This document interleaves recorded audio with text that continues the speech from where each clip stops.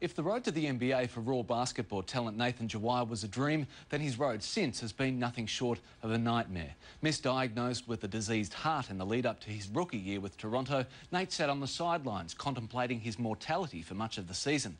He then twice injured his ankle, being traded to Dallas and then on to Minnesota. ESPN's Jason Bennett recently visited Nate in Minneapolis and found a big Aussie giving his all to kickstart a seemingly cursed NBA career.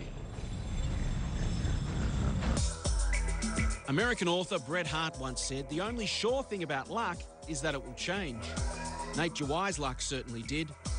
A raw basketball prodigy, he breezed through Australian domestic ranks to find himself in the NBA within six years of first picking up a basketball. But that's where his luck ran out. Now, like every other hungry prospect in the Minnesota Timberwolves system, he has to fight to survive in the world's toughest basketball league. Do you feel like you belong in the NBA yet? Yeah. I mean, there's not I go out there, I, I get so comfortable that I'm like, I can compete.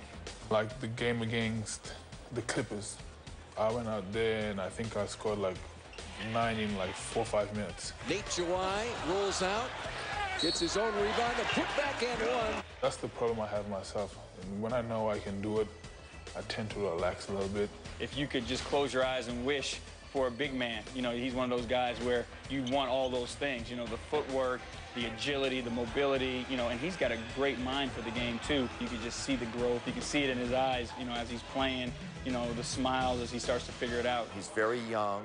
Uh, he's very raw, but you can see the potential in him. For a big man, he can really run. He's light on his feet.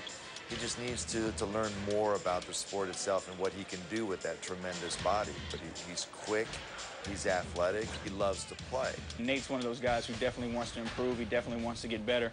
Uh, he spends the extra time before practice and after practice and watching film and stuff like that, uh, working on his game and improving. You feel like you can help him reach his potential, and with somebody with that size of body, he's very intriguing. All I can control right now is to get consistent minutes with the Timberwolves. And I mean, uh, I've been up and down at the moment, and it's been great. But the move's been great for me. I have an opportunity here, and we are a very young team. I'm kind of glad that I got traded. It's colder here than Toronto. I hopped off the plane when we came back from LA, and it was like, wow. Where am I? Where am I? What is this It's place? worse. It's it's worse than standing in a freezer. Put it that like it's worse. It's cold. It's colder than Toronto definitely, but I'm getting used to it. It's not too big. It's a bit smaller than kind of similar to Toronto, but I mean it's not that well known. But people here are great. All right, we're gonna gather around Kevin Love here and Nathan Jawai.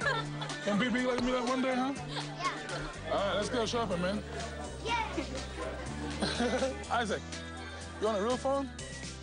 Who are you gonna call? Uh, when I leave, I'm gonna call my grandma. Oh, nice. You gonna put my number in your phone? I don't know where's the DSI. This one? Put. Here you go. You put up here. Isaac, what size shoes do you think Nathan wears? A 10? A 10? Nathan, what size shoes do you wear? 15. Ah, you're cute.